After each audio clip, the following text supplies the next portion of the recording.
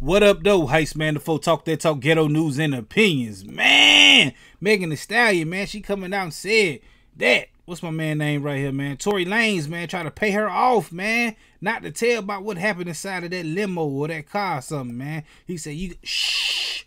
Be quiet, man. He tried to pay her off, man. I don't blame him, man.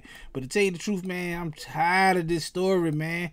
Every time you look up, it's another damn something that's going on between these two, man. Did he do it? Did he not do it? He keeps saying he didn't do it. Then she said he did do it. Then wind up he did do it. So they say, man. I don't know the story, man, but I'm really getting tired of this shit, man. Um fucking dog barking. I don't know, man. I'm tired of this story though, man. Um keep your hands off females, man. Keep your guns off of them and all that shit too, man. We're gonna be talking about this story and more right here on this channel Friday, man. I go live every motherfucking Friday at 9 p.m. Man, hit the like button, the comment button. Well, ain't no comment button, but hit the comment section, the like button, subscribe button, all them good buttons you got to hit to get this pimping that I'm putting out when I put it out.